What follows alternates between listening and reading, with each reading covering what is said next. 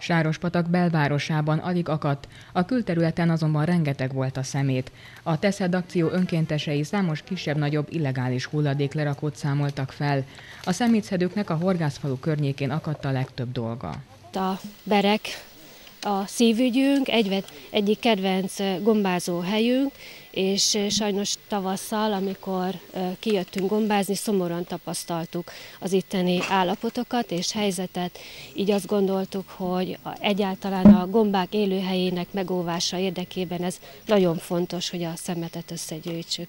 Idén jóval többen vettek részt az akcióban, mint tavaly. Ez nagyrészt annak köszönhető, hogy a város már hetekkel ezelőtt megkezdte az egyeztetéseket a civil szervezetekkel, iskolákkal és intézményekkel nem volt olyan szemetes a város, mint ahogy azt sejtettük, de így is volt mit összeszedni, mert az emberek leleményesek, és úgy el tudják dugdosni az el nem szállított szemetet a különböző bokroknak az aljára, a bodrokpartra, hogy bizony szükség volt erre az akcióra.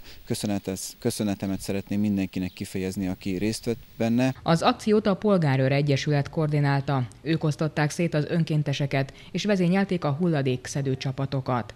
A szervezettségre a nagy létszám miatt is szükség volt.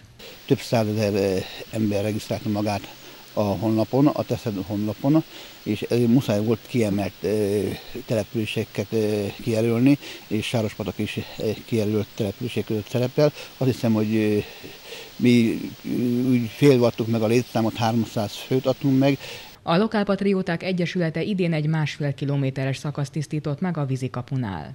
Azért is fontos ez a rész, mert az idegenforgalom szempontjából egy, egy eléggé exponált terület ez, és hát szeretnénk, hogyha a vár környékén látogatók azért megfelelő millióbe, vagy millióvel találkoznának itt. Sárospatakon közel 500-an vettek részt a szemétszedésben, amelyet a szervezők igen sikeresnek értékeltek. Országszerte ugyanis több mint 160 ezeren húztak kesztyűt, hogy megtisztítsák a környezetüket.